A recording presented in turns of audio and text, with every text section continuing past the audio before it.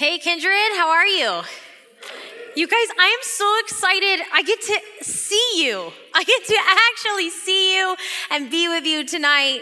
Um, as much as masks were necessary, and I'm thankful that they kept uh, us and others safe and they enabled us to gather. Selfishly, I cannot tell you how nice it is to look out and not see a sea of masks. That is so fun for me, and so I'm excited to get to teach tonight. Um, and I'll also now really be able to tell if I'm boring you or if you've fallen asleep. So just just remember that.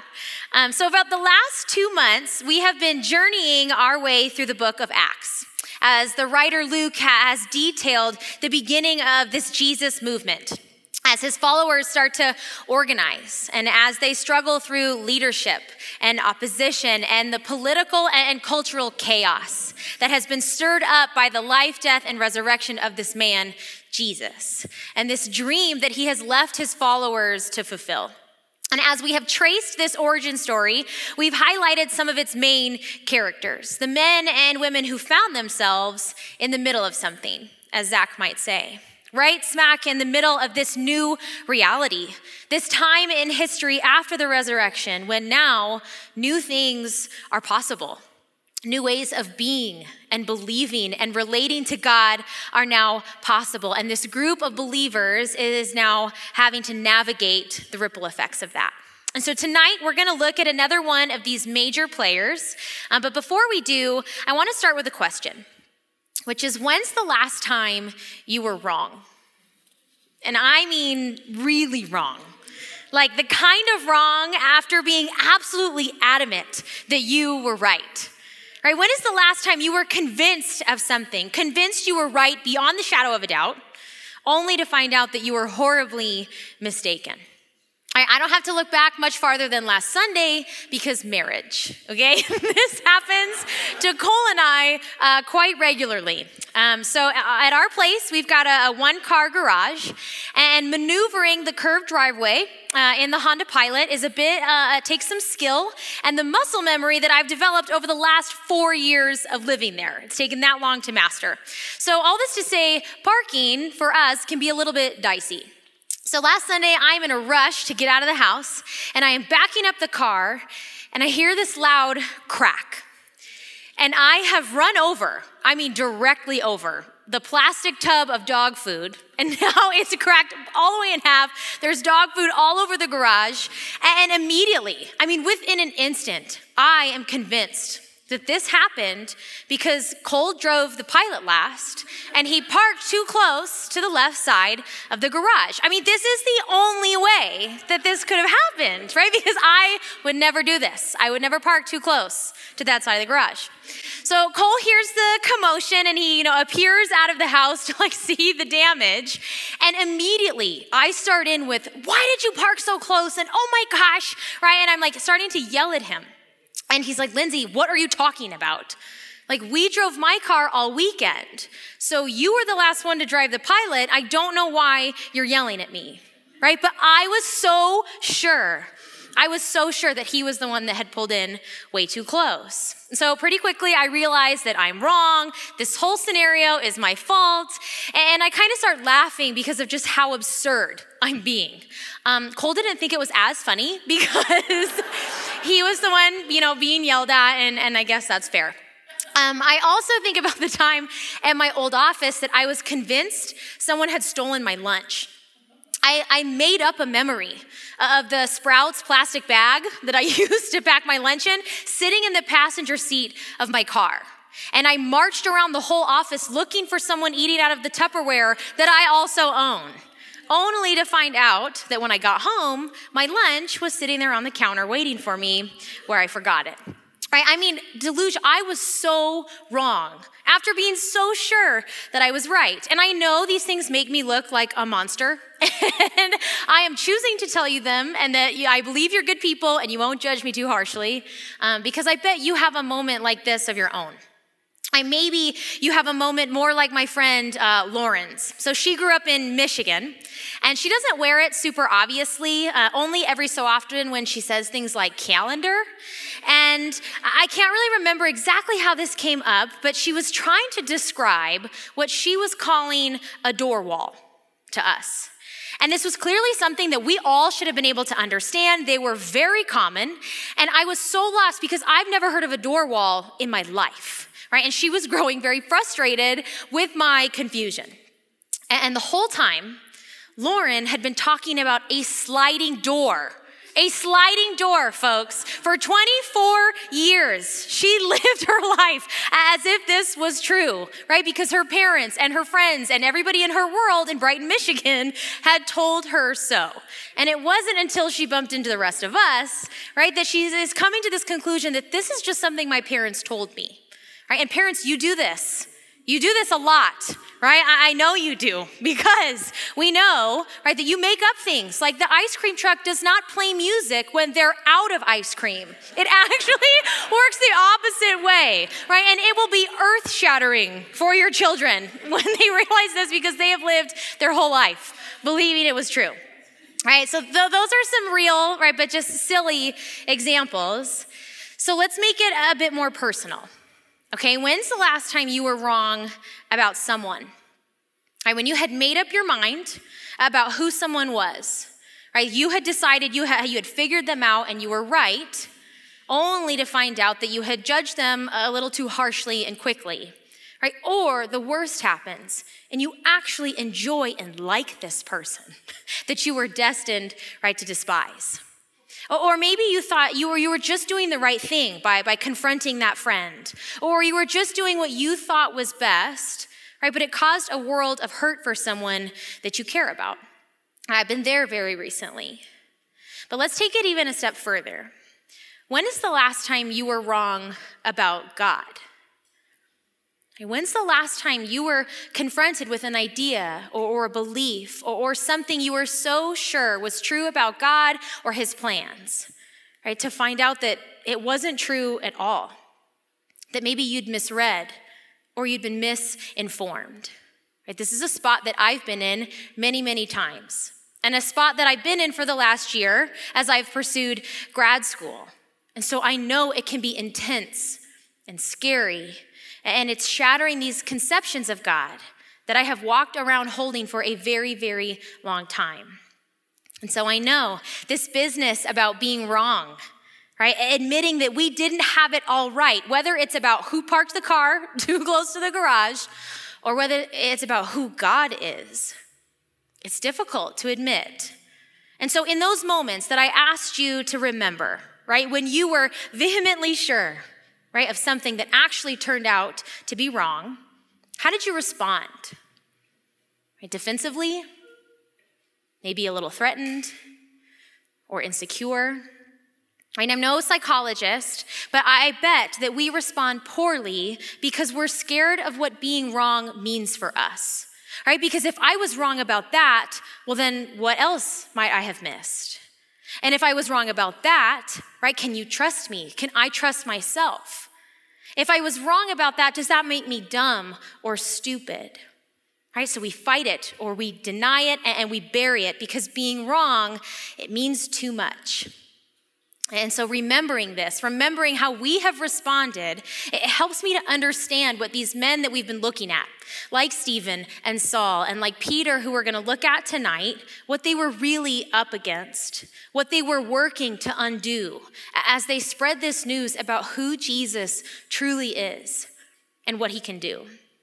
And so, as we look at the ministry of Peter tonight, I want us to hold in front of us these moments that we've been wrong because getting it wrong, it is essential to embracing the way of Jesus, to embracing maturity and your own discipleship. See, getting it wrong is necessary if we're ever gonna hope to get it right. So we have spent the last two weeks talking about Saul turned Paul, and while much of the book of Acts it centers his experience, Luke, who is authoring this book, is sure to draw our attention to Peter. Shortly after, Saul has this defining moment right on the road to Damascus, which we looked at two weeks ago. So we're going to go back into Acts 9, where we get this little interlude on Peter and what he's up to before the rest of the book moves on to follow Paul's movements that, that we've taken a look at. So, who is Peter again? Right? Unlike Saul, who is introduced to us in Acts, Peter isn't a new character. We first meet Peter years before this on the beach of the Sea of Galilee when he's fishing with his brother Andrew. And Jesus approaches him, and they have this really curious interaction. Right? Trey, one of our board members, he taught a whole message on, on just that moment that you can go back uh, to listen to, or you can just read it uh, again for yourself if you want. It's in Luke chapter 5. But after this infamous day on the beach, Jesus gives Peter's life new direction and new purpose. Right? He tells him that you are going to become a fisher of men, of people, right? Which sounds a little bit strange. And Peter, he, he winds up joining Jesus' inner circle as a disciple, not really knowing all that would mean and all that would entail. And then over the next three years, he lives up close to Jesus. And there's a handful of moments that give us this glimpse into what kind of guy Peter was, what he was like, and his evolution, right? His growth as a disciple, right? When he notoriously walked on water. And there was the time that he cut off the soldier's ear when they came to arrest Jesus. And then there was the three times, right, that he denied being Jesus' friend or his follower. And so Peter's track record as a disciple is littered with times that he was wrong, right? When he acted out of passion and Jesus had to explain and re explain over and over again this new way, right? This new way of being and believing, this kind of backwards, upside down way of his kingdom. And so before the resurrection, Peter was impulsive and he was stubborn and he was reckless. I would liken him to a character like JJ from Outer Banks. He, he's a bit of a wild card, he's kind of rough around the edges, um, but he's loyal. And he's full of potential if you just point him in the right direction. Right, Gen Z, that one was for you. For everybody else who's like, I have no idea what you're saying, I, you could liken Peter maybe to someone like Tony Stark. It's not a perfect parallel, but he's likable and he's charismatic right? But he's stubborn and he's hard headed and he's usually problematic. Right? But there's this evolution in Peter after the resurrection. Right? And it's not that the Holy Spirit dulled or erased Peter's passion or his charisma, but we see that what was in Peter all along is actually refined. Right? So he goes from being impulsive to decisive, to a confident leader, right, for the early church. And he goes from being brash and, and brazen to being this bold teacher and speaker. And so we see that with the Spirit alive in Peter, he continues to be transformed. And when we hear of him again in Acts, Peter still has not arrived, right? He has not made it. Right, so when Luke picks up with him and at the end of Acts 9, Peter has been traveling around from place to place and he's healed a few people and he's now eh, he's settled and he's landed in this town on the coast called Joppa. And we're now going to jump into Acts chapter 10 verse 1. So in Caesarea, there lived a Roman army officer named Cornelius. Right? Also, that name is incredible. Like, I love that his name is Cornelius. It's so epic. He was a captain of the Italian regiment. He was a, devout, God fearing man, and as was everyone in his household, he gave generously to the poor and prayed regularly to God. So, just a few things to note here. Okay, Caesarea is about 32 miles north of Joppa. Okay, so on the map, we have Jerusalem, which is where the resurrection happened. And so Peter has made his way uh, up to Joppa there. And now we have this Roman captain, right, Cornelius, up in Caesarea. And it is the largest, the most important city on the Mediterranean, right, in Palestine. It's this key strategic zone for the Roman military power that they are now in possession of. And it's here where we meet Cornelius. And he's a Roman centurion, so he is a commander of 100 other soldiers. Right? But the way that Luke describes Cornelius is actually a bit surprising. Right? We see in his description of this man that it's kind of this deviation away from the script that we might tend to think of when we hear Roman soldier. Right? So even though right, he represents this position of oppression, right, of the state, but Cornelius isn't a brute and he's not cruel.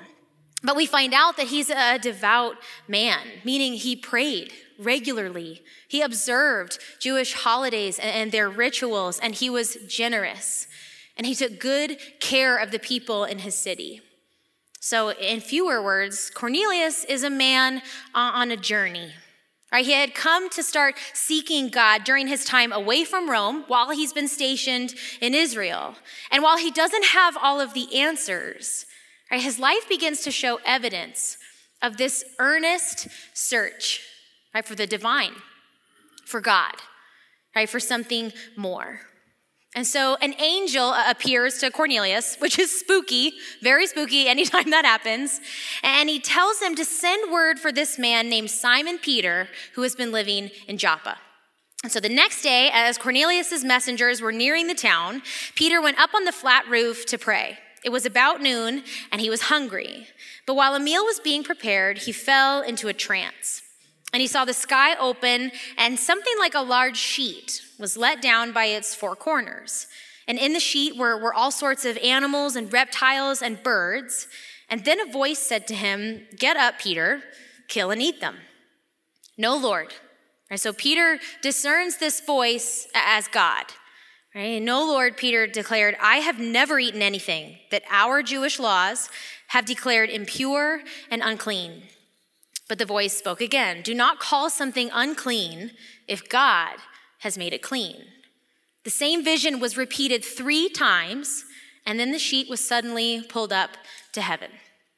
Right, so Peter wakes up and he's dazed and he's confused and he's trying to figure out what in the world that was all about. Right? And Cornelius's men, they're approaching, right? They are at the gate. And they explain, right? There was this angel, and there's this message to look for this guy, Simon Peter, and we're supposed to inv- invite you back to Cornelius's house. Right? And it's at this point that Peter is starting to put some of the pieces together. And this was not just, uh, you know, the most bizarre fever dream he's ever had, but God is trying to get his attention. Right, so in this dream, there's all of these right, animals and reptiles and birds that Peter is reluctant, right, to eat. And well, that would be because according to Jewish law, certain foods were forbidden. Right? Culturally, we might be familiar with the rule against eating pork, but there were many of these there were many rules about what, what was okay to eat and what was not. And these rules, they made it extremely difficult for Jews to share a meal with Gentiles, with non Jewish people, because they would be risking, right, defilement. And so if you follow that thought, now Gentiles themselves are being seen as unclean and dirty. And so these laws, they were given to the Israelites a long, long time ago to demonstrate how they are meant to be set apart, how their lives, their actions, their behaviors, they are meant to be set apart from the rest of the world. Right, but this gets distorted. And now these rules are being used to perpetuate this flawed idea that now they're not just set apart, but they are set above. Right? And it creates this, this condemnation and this disgust of the Gentile people in Jewish people. And so upon waking up, Peter is met with a dilemma because accepting this invitation, right, from the Roman centurion, it would absolutely mean breaking Jewish law. Right, to associate with him at all, to, to then go to his house and then let alone uh, share a meal with him, this would mean betraying everything Peter had spent his whole life believing about Gentiles and their separation from God. See, Peter didn't have to be a Pharisee, right, to have adopted ideas about who was allowed to be close to God and who wasn't. Right? And before this episode on the roof, Peter believed his ideas about Gentiles were right. He had spent his whole life upholding this belief system, right, that reinforced it. Every Jew he would have ever known would have agreed with him. And, and Peter had just spent the last few years of his life, right, as one of Jesus' closest disciples. And even that hadn't uprooted some of these religious and cultural ideas about who the grace of Jesus is for and who the work on the cross actually covers. Right, but Peter was wrong. Peter was wrong. And God replays this vision three times in order to wake Peter up to this idea that he'd gotten all wrong about who gets to belong and who doesn't. And so imagine what that might have felt like then for Peter after being so passionately sure that he was right, to realize he was wrong about grace. He was wrong about excluding this group of people he thought were unworthy. He was wrong about thinking or he was more entitled to a relationship with God. I don't think that can be understated, right? The weight of that moment. And here's what I want to emphasize Peter doesn't simply just change his mind and leave it at that. I love how Zach explained this a few weeks ago that true repentance isn't just deciding to think differently, but it moves us to do differently too. Right? Repentance and obedience are two sides of the same coin. They're two sides of the same coin. And I know that word obedience feels maybe a little intimidating or, or kind of domineering, but it really just boils down to trust, to acting out of trust. So if repentance is to turn away from something that is not true or that is not of God, well, then obedience is to turn towards something that I now know is true. Right? And Peter, he didn't simply just change his mind, but it also moved him closer to the people that he had neglected and excluded physically. Right? He accepts the invitation. He makes the journey to Caesarea. Right? Cornelius has invited some of his family and his friends to, to be at this meeting that God has clearly gone to very great lengths to orchestrate. He has sent angels and visions and dreams to make sure that Cornelius can hear whatever the message that Peter is carrying is, because it must be important. Right, so Peter told them, You know it is against our laws, right? For, for a Jewish man to enter a Gentile home like this or to even associate with you. But God has shown me that I should no longer think of anyone, of anyone as impure or unclean. And so I came without objection as soon as I was sent for. Now tell me why you sent for me. Right? And then Cornelius like goes into the whole thing again, right? He's like, there's an angel. And then I said to summon this guy, Simon Peter. And so I sent my guys and then I invited the neighborhood. And now we're here and we are waiting to hear what this message you have is. And so Peter begins. He says, Then Peter replied, I see very clearly that God shows no favoritism. In every nation, he accepts those who fear him and who do what is right. This is the message of good news for the people of Israel that there is peace with God through Jesus Christ, who is Lord of all. There is peace with God through Jesus Christ, who is Lord of all. For Jewish people and for Gentile people and for all people of any nation in any place, you can have peace with God through Jesus Christ, who's Lord of all. This is the good news that Peter brought to Cornelius and the people of Caesarea that day that Jesus is Lord, that he is the Messiah. He is what history and tradition and prophecy have been pointing to the whole time. And he is able to forgive whatever is separating you from God and instead give you peace with God.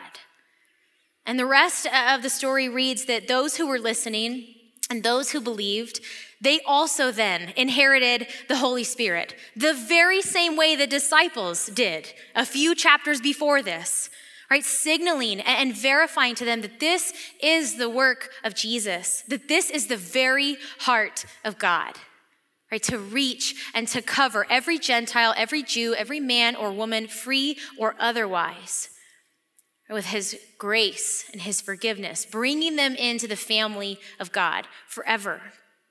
And it began with Peter getting it wrong.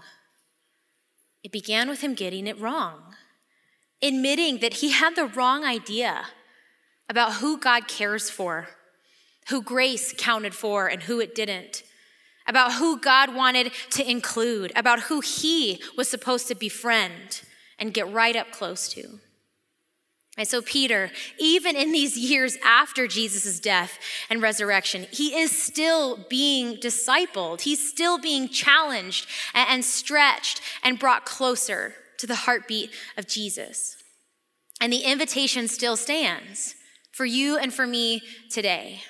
Right, whether you have been a Christian for decades or whether you're not really even sure you would, you would call yourself that, we get the same chance right, to admit we were wrong. We, we had the wrong idea about God or about those people or about grace and about re- belonging. And, and we get to turn away from those old, stale ideas and we get to turn towards the gospel of Jesus. And the very people that we have spent so much time avoiding because we decided they were messy or dirty or difficult or whatever. The question then tonight becomes not just what have we been wrong about, but who? Who have we been wrong about? I want us to consider very specifically who have we excluded from belonging? Who have we been neglecting in our prayers or in our friendships or in our relationships? Which groups of people have we written off as unwanted or unworthy or hostile because tradition or our parents or culture told us so? Who have we been wrong about? And then what might it look like not to simply just change our, our mind or think differently about them, right? But to embrace true repentance the kind of repentance that's coupled with this obedience, this acting out of trust, and taking a step closer in proximity, taking a step closer in relationship to the very people we got wrong. And it's likely, I think what you might find is that whatever person or group or community that you're thinking of right now, they might already be seeking God in their own way. Right? That's what we see in this story of Peter and of Cornelius. That Cornelius was already pursuing spirituality. He just didn't have the whole picture yet. He was missing some crucial pieces about Jesus that God used Peter to fill in for him. This reveals to me that wherever God might tell you or me or us to go, He's already been there he has already been moving and working ahead of me and independently, but uh, he does this beautiful thing where he invites me to play a part in it. So, who have you been wrong about? I see getting it wrong. That is evidence of the work of the Spirit in our life, right? Revealing the things that we've held onto that are not of Jesus and that are getting in the way of people belonging to the family of God. And then it is the work of us, right? Not to ignore or, or bury or fight off when we might not be right. But instead, let's embrace it. Let's embrace it as a step closer to who Jesus really is. Embrace it as the step closer to the people that Jesus wants to extend his grace and his mercy and his forgiveness and his freedom and his love to. And what might happen if we do. So, Kindred, would you stand? Let's close in prayer together. God, God, thank you for who you are, that you are good. God, that you come after us. God, that you are perfect in your care and your protection and your provision of us. God, I pray tonight that your spirit would do what only it can do God, which is convict our hearts, maybe reveal, show us what have we gotten wrong? Maybe because it was told to us that way, or we just assumed, or we just caught on by osmosis. It doesn't matter how we came to that conclusion, God. But tonight I pray, God, you'd show us a better way, a new way, God. God, I pray that you would make us bold, that you'd make us courageous and, brave enough to admit when we got some idea of you and who you care about and how this whole God, God's salvation and grace thing works. I pray you'd help us to see we got it wrong and make us brave enough to admit, to admit that. God, and then make us the kind of people who, in repentance, turn away from that, God, and in obedience, turn towards you, turn towards Jesus, and it actually moves us to do something different than we've done before. God, I ask that you make us those kind of people, that you would make us that kind of church. Jesus, we love you, and I need you. In your name I pray. Amen.